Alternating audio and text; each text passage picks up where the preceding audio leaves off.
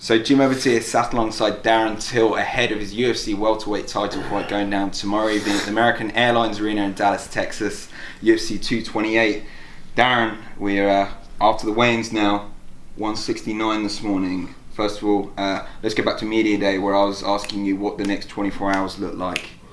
What did it look like, and how easy how easy was it making that weight? Just didn't expect it to be what it was. Uh, I got out of bed about six Thursday afternoon. Just mentally preparing myself from six o'clock, you know, just to make the weight. It's it's always a mental struggle.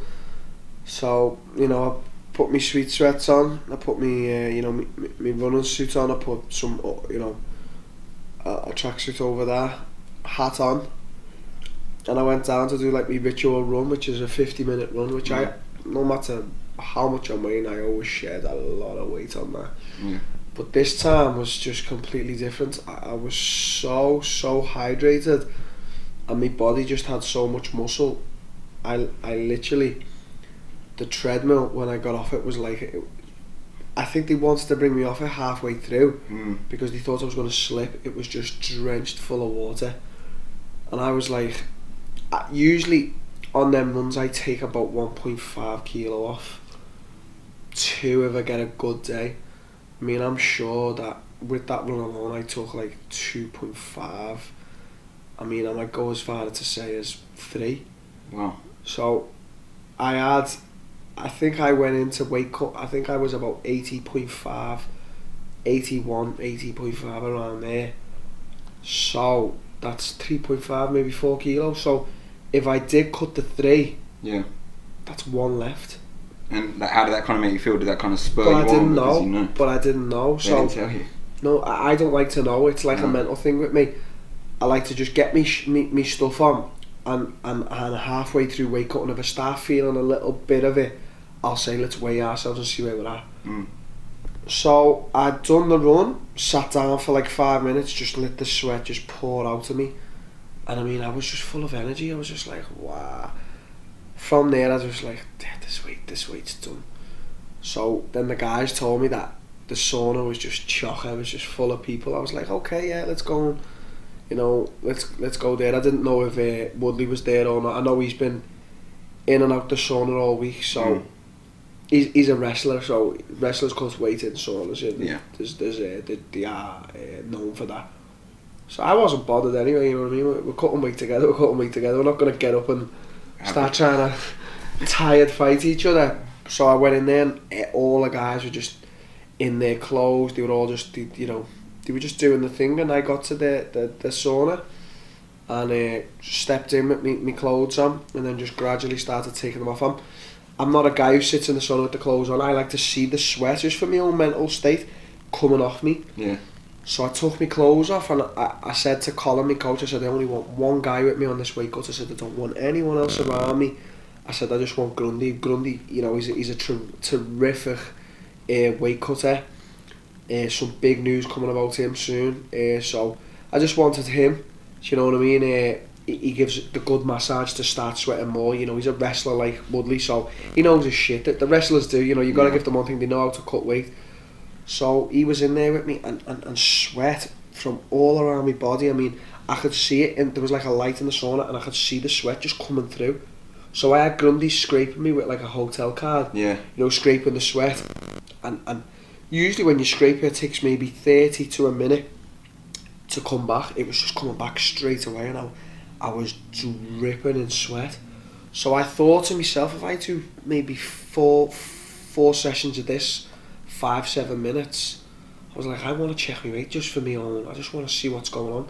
So I, the first time I went in for like seven minutes, then got out, stayed out for about a minute, got back in, stayed in for about five, got out, got back in. On the fourth go, I said to the, my nutritionist, Owen, I said, should we, should we check weight? I said, I know you're eager to see what my weight is. Yeah. Colin was standing there, he was eager. And Grundy was also. I think we knew I was close. So Owen had set up scales, the same as the UFC ones in the workout room around the back. So I just went and lied on a few towels until I was dried off. And then I said, come on, let's check. So, you know, stepping on them scales, you know, was like, oh, is it going to be good? Is it going to be bad?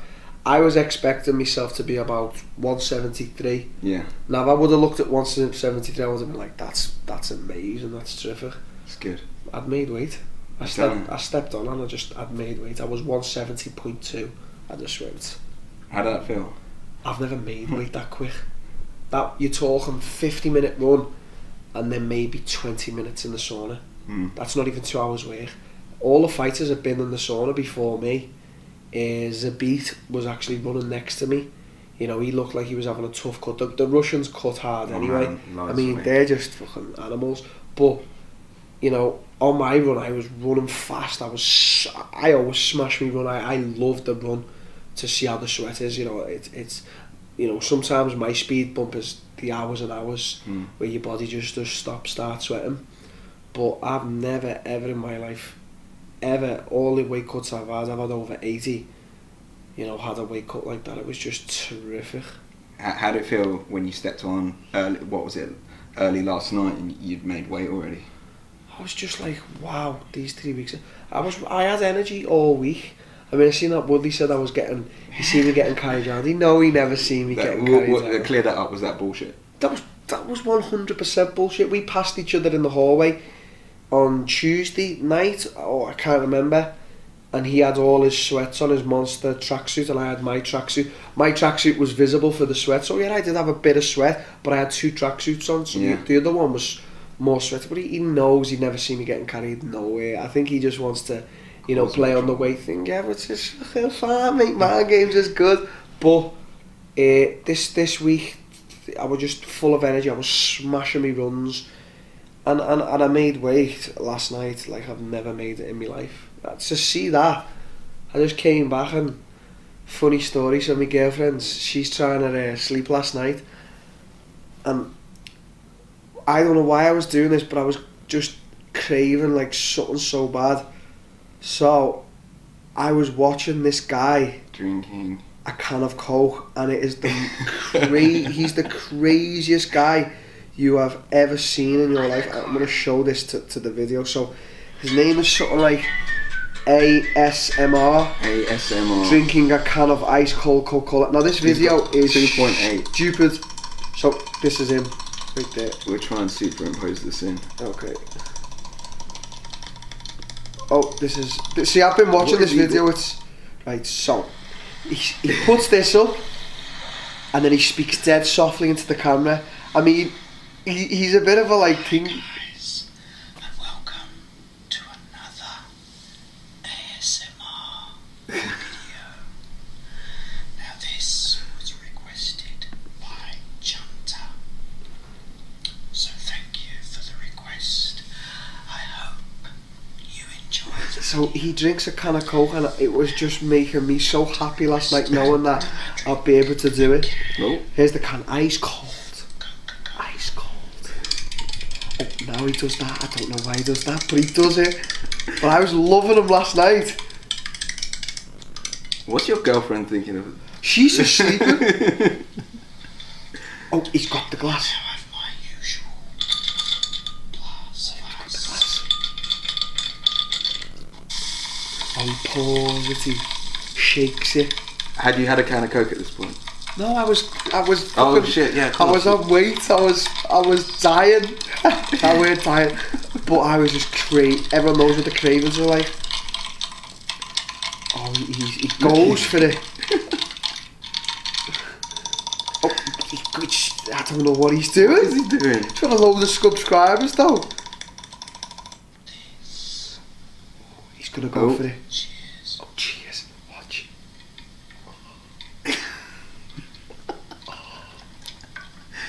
Oh, watch the face. Oh, watch the face. Oh. Laura, get me a can of coke. I'm gonna have to imitate this shit on camera, Jim. How many? Oh. How, how many have you had since? No, I, I, I only have one can of coke, you know, after weigh-ins. So whether it be the day of the weigh-ins or the fight day, I only have one can of coke just to cure them cravings. So here it is. Let's, Here it let's is. do it. Oh my god! Here we go. Oh my god. Let's. Uh, I've got to. I've got to let you do the honors. It's cold. It's, it's cold. cold can of coke. Oh. Should we see what it, should we see if it's as good as as that cunt was making out to be last night? Oh, it's open. Oh. Right, here we go.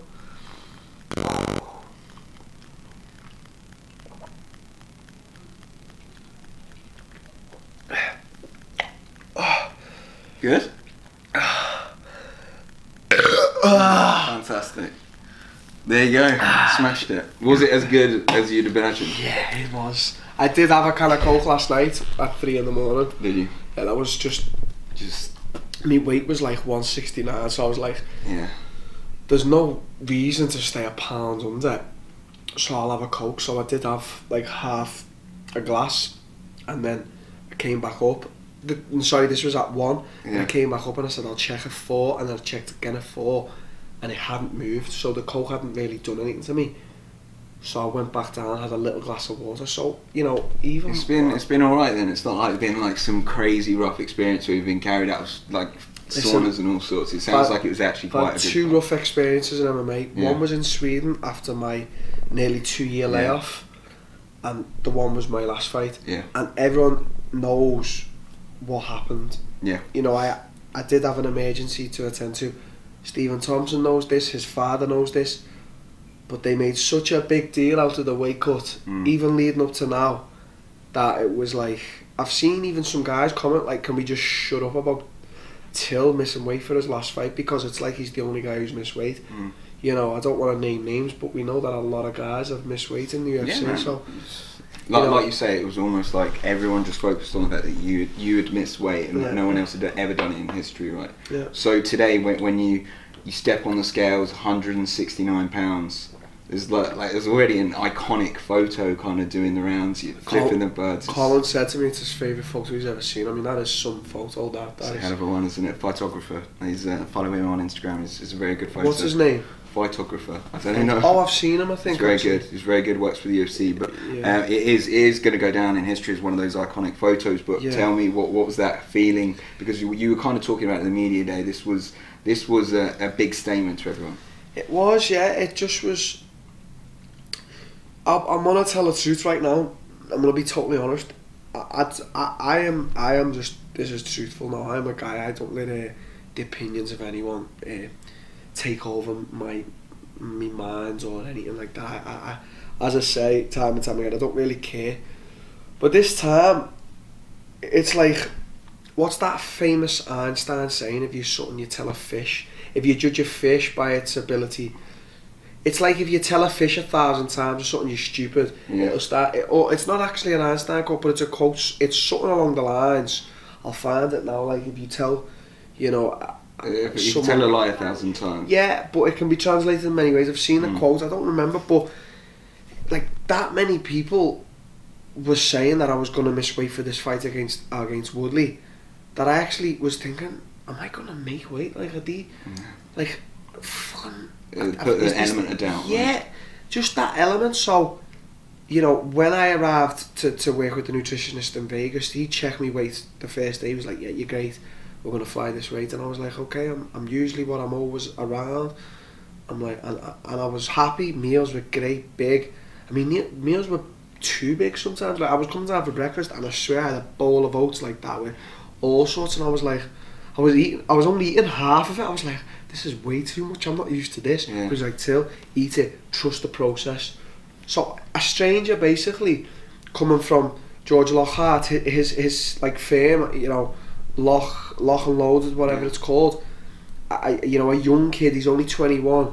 I put all my trust. Colin put all our trust into him, and He smashed he, it. he smashed it. He had a lot, he did get a lot of uh, point. Cole was you know on his back a lot because Cole was as worried, and as you say, we didn't know him until we seen him in Vegas, and and, and look at what he's done. He's look at the name he's just made for himself. You know, it's and and you know, if if whatever happens, I, I'll always work at that guy now. You know what I mean? He's just and and I like him. You know, Yeah. I do like him. I think he's dedicated and he- he's ambitious to what he does. You know, he he, he reminds me of, of me how hard working I am. So perfect. He, he grabbed that opportunity by the balls and he really went far with it. Perfect. You know, um, obviously now Ah, they're gonna go. you've made the weight now. We're now smashing a can of Coke, but I guess now it, the mindset switches to the fight. Uh, How, how, do you kind of feel mentally now ahead of this one? Like Tyron, obviously, all week has been a difficult character to deal with for uh, people, I guess, in the media as well, um, with, with everyone, and he's been acting slightly as if someone has got in his head. I, w- I would say that. What, what, how, how do you kind of approach Listen, it? I can't speak for Tyron. I don't want to sit here on camera and say Tyron's. Listen, Tyron's what thirty six.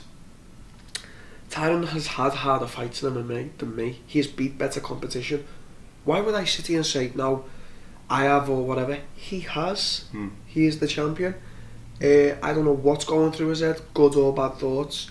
We all have the good and bad thoughts. I have bad thoughts. What if? Actually, what if this happens? It's just it's just the mentality of a fighter. Will fighters say it? I I don't know, but I will because I'm not, I'm not afraid of to speak about my fears or anything, or, or that just shows how mentally tough I am. Uh, I just he, he knows the test ahead. He knows the test ahead. He knows I am a test. He knows I'm not a pushover. I'm not coming in there to make the numbers up with him. I'm not coming in there to say, oh yeah, I fought the champ in a good five round fight. No, I'm coming in there to beat Tyron Woodley any way I can. Like that. That's that's that's how I'm coming in the fight. So it doesn't matter how how he's feeling, how he is mentally. It doesn't matter how I'm feeling or how, how I am mentally. We are gonna fight tomorrow. So you know, today I don't really, I still don't think I'll out the fight. I, you know, I'm looking forward to the weigh-ins now, food later, and then when I wake up, I'll be like, okay, this is what I've been waiting for for six weeks, and and, and my, my my happy night has came. I'm, I'm a happy man, so it's it's good. It's good. I'm just glad I made that weight. You said you did say yesterday that was going to be a massive part of the week for you. Is, does it kind of make you feel different now as you walk into tomorrow that there is kind of that pressure? That's done now. You've Yeah. made weight. You've Yeah, done like, just all eyes are on me. Like, you know, you saw that I've just literally been like three times in one week. That's just strange. And they It's were like, they, they said like a something. What did they say to me? They said, "Oh, we've got water for you to drink." I said, "Listen, there's nothing in my shit. There's nothing in my shit unless it's." Something like Canelo, someone's putting shit in his meat. There's nothing in my fucking stuff. Don't you worry about that. But they've been, you know, all eyes on me. The UFC wants to know, you know, what was going on at, at the institute. All eyes were on me.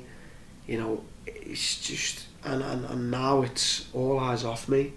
You know, not I'm not a bad person. I don't wish this on on anyone. But let's just hope someone misses weight soon and just get the eyes on him. But no, that's a joke. I, I, you know, I, I don't I don't wish anyone missing weight upon anyone, even my enemies or whatever. It's it's just not a good thing. It you know, it's not a good thing. The hate you get for it, it's fucking, it's ruthless. I swear to God, Yeah. the hate for you. You know, anyone less, anyone with less more of a little bit of toughness in here would have been like, fuck, I can't stand this.